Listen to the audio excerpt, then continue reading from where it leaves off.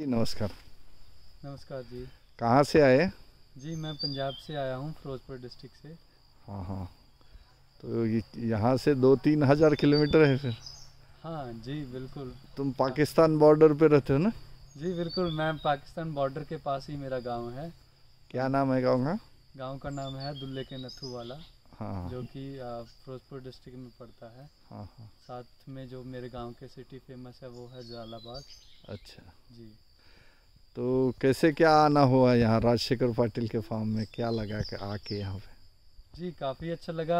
जैसे कि मैं राजशेखर जी आपका जो मैंने वीडियो देखा था हाँ हाँ। यूट्यूब से तो उसी से मैं इंस्पायर हुआ था कि मैंने बैम्बू की खेती करनी है अपने गाँव में अपने खेत में। हम्म, तो उसी की रिसर्च में मैं यहाँ घूमता घूमता इधर पहुँचा और यहाँ पे देखा कि हाँ बैम्बू की काफ़ी सारी वैरायटीज़ हैं और काफ़ी अच्छा हुआ है बैम्बू हाँ हाँ। और अभी आगे और भी थोड़ी सी नॉलेज जो आपसे चाहिए वो मैं आपसे लेके जाऊँगा और अपने तरफ़ खेत पे बैम्बू की खेती शुरू करूँगा। तो ये फ़ायदेमंद है? हमने कैलकुलेशन निकाला अच्छा है क्या ये? जी कैलकुलेशन के हिसाब से तो काफ़ी अच्छा लग रहा है।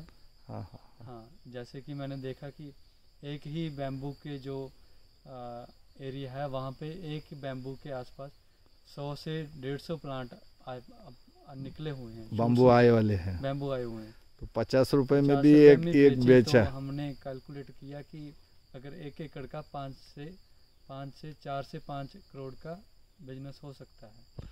अच्छा अच्छा अच्छा। यानी कि कम से कम दस बीस लाख बाम्बू निकालने पड़ेंगे तो। जी जी जी जी। ठीक है ठीक है। मैं राजशेखर पाटिल आपको धन्यवाद देता हूँ। शुक्रिया जी आपका भी बहुत बहुत शुक्रिया।